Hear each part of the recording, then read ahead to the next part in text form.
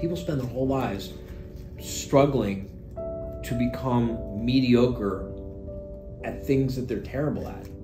Our parents and our teachers to try to help us be more successful in the education system, motivated by nothing but love, usually, and nothing but trying to protect you from the pain that comes from living in a judgmental, fearful world, usually, teach us to keep this side of ourselves hidden in the dark. This part of you no one quite understands and it makes people, you know, a little uncomfortable. So they tell you crumple that down so you can fit in and have friends. And this doesn't fit in with the any of the defined sports teams or whatever. And so they tell you crumple this down. They try to sand down all your quote unquote rough edges and your oddball peculiarities and all the things that make you uniquely, spectacularly, beautifully you.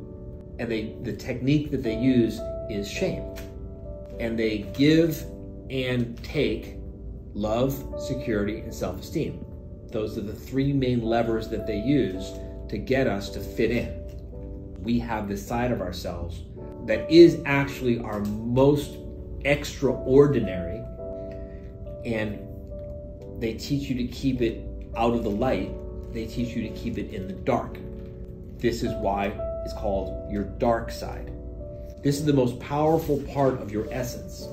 And you spend an extraordinary amount of your time and energy and psychic ability trying to keep it hidden from everyone. This is where neuroses comes from. This is where anxiety disorders come from. This is where all kinds of performance problems come from because people are taking so much of their of their energy and they're using it to try to fight against and hide the most extraordinary part of themselves. Which ironically, I have found in my own life. That part of yourself that's extraordinary is the part that's going to attract people to you.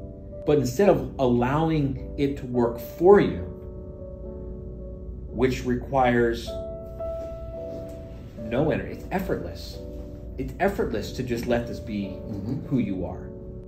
Instead of being effortlessly extraordinary, people use tremendous amount of time and energy trying to hide this part of themselves, and then they feel ashamed of it when it pops out. People think their dark side is bad. Their dark side isn't bad. Their dark side is what makes them uniquely, spectacularly a unique human being the more you stop using that energy to hide who you're all about and you tap into this huge reservoir of energy that you were using before to work against yourself now that reservoir that, that reservoir of energy can be used for you it's it's, it's a complete i mean it's a complete game changer mm-hmm. you you go from struggling and struggling and struggling and struggling to all of a sudden everything just starts working for you, working for you, and working for you. And it gets easier and easier and easier, better and better and better, faster and faster and faster. The modern education system teaches children to be well rounded. Well, that's what well rounded looks like, you know? Meanwhile, and not that money is the only measure of success, but if you just measure it by money, I mean, I make more money than 99% of the world's population, and I can't do math. I'm one of the most disorganized people I've ever met. But I've got this one part of myself that is just extraordinary. And I've just leveraged it to the hilt for myself and for others. And if everyone would do that, we'd have all these extraordinary oddballs who would stop being ashamed of themselves and, and, and they'd have a lot more success.